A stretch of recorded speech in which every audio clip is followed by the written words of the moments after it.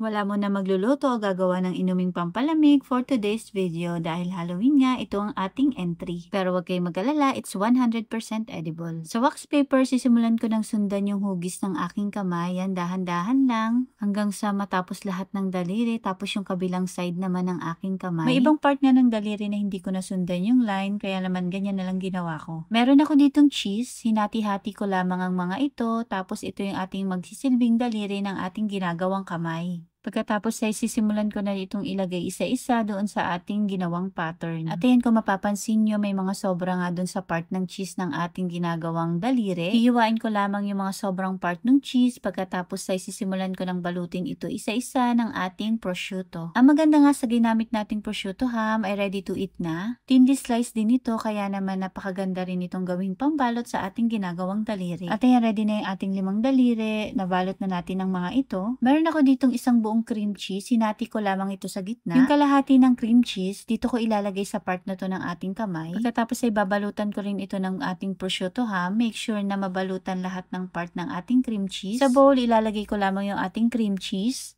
Maglalagay rin ako ng dried parsley, garlic powder, and pepper. Pagkatapos ay hahaluin ko lamang ito ng mabuti hanggang sa mag-combine yung mga ingredients at magpantay yung lasa. Gumamit na nga pala ako ng plastic gloves para naman mas madali ko itong mahalo. At ayan kapag ready na, dito sa part na ito ng ating kamay natin ilalagay yung ating cream cheese. Paunti-unti lang yung paglagay ng cream cheese para matansya natin yung dami. Susundan ko lamang yung shape ng ginawa nating kamay. At ayan malapit nang matapos nagkakaroon na ng forma yung ating ginagawang kamay. At ayan nalagyan na natin yung mga part na wala pa kaninang cream cheese. Sisimulan ko na itong balutan ng ating prosciutto ham. Shoutout po kay Ma'am Jessica Soringa from Cebu, Raquel Naranjo from Rosario, Batangas, Joe Villanueva from Dubai, Wendy Rose Dacua from Lebanon, Visanta Naisa from Bicol, and Ma'am Lordenita Orejas from Kuwait.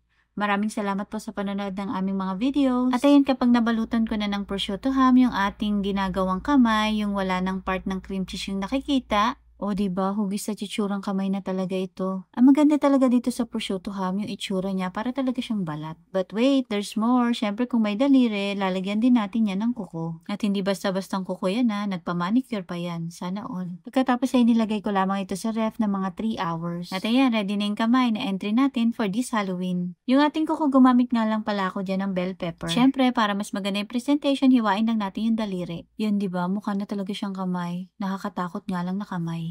At kung umabot kayo sa part na to at nagustuhan niyo po ang aming video, ay pakicomment naman po kung taga saan kayo para naman mapasalamatan po namin kayo sa aming mga susunod na video. Yun lamang po, maraming salamat.